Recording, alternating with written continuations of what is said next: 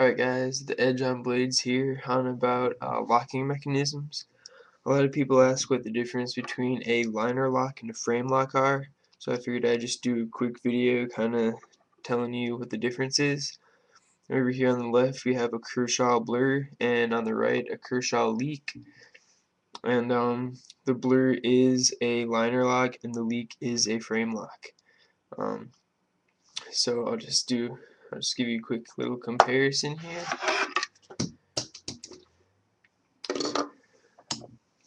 Sorry about the light blast here. This is the, uh, the Kershaw Blur, and this is the Kershaw Leek.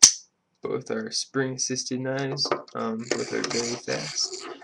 Um, the difference in the locking mechanism here is that a liner lock, which is what this has, is actually not part of the frame of the knife. Now the frame is this black, the two black pieces of metal here that are bolted together. See the bolts right there and rivets right there, bolted together. And they have a little piece of metal in here.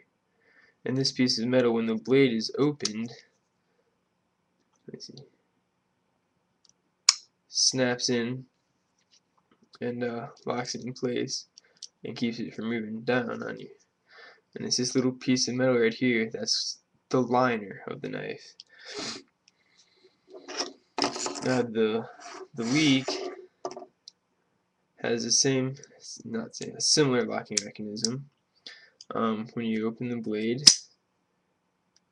this, and it's actually part of the frame of the knife, slides down, and um, I'll show you kind of what it looks like. Um, I'm going to use my Husky HD74502Z. It's a Torx bit to just take off the um, pocket clip here and uh, show you that it is in fact part of the um, the actual frame of the knife here. Frame, we have, again, we have these two black pieces of metal here sandwiched in over the blade. And this little piece is cut out and it's bent in right there. And that covers, that comes down and uh,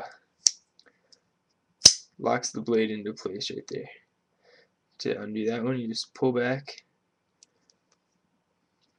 and move it out of the way. So once again, once it opens, snaps back into place, and that's what your your frame lock is. So frame lock, and you have your liner lock on this one. Both are pretty strong.